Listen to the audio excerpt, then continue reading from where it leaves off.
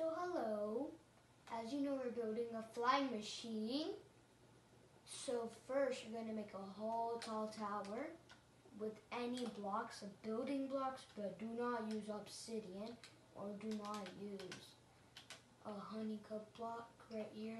Do not use that block or this. Just use slime blocks. So first, we're going to make two slime blocks on front, but the slime blocks have to be facing where you're going. So it could be in two directions. You could go that way, but then it has to be on the right, right side on here. So in case I'm going this way, so I'm going to put this in observer right there, but it has to be facing where you're going.